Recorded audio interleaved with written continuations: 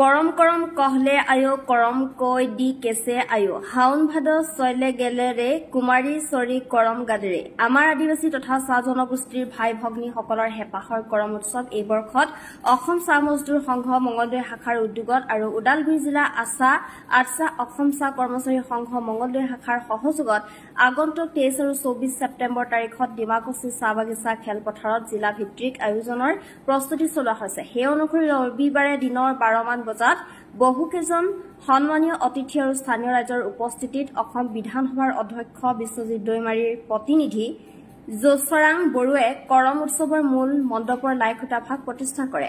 অনাগত উৎসৱ ভাগ সাফল্যমণ্ডিত কৰি তুলিবলৈ জাতি জনগোষ্ঠী নিৰ্বিশেষে সমূহ ৰাইজৰ সহায় সহযোগিতাৰ কামনা কৰিছে জোচাৰাং বড়োৱে।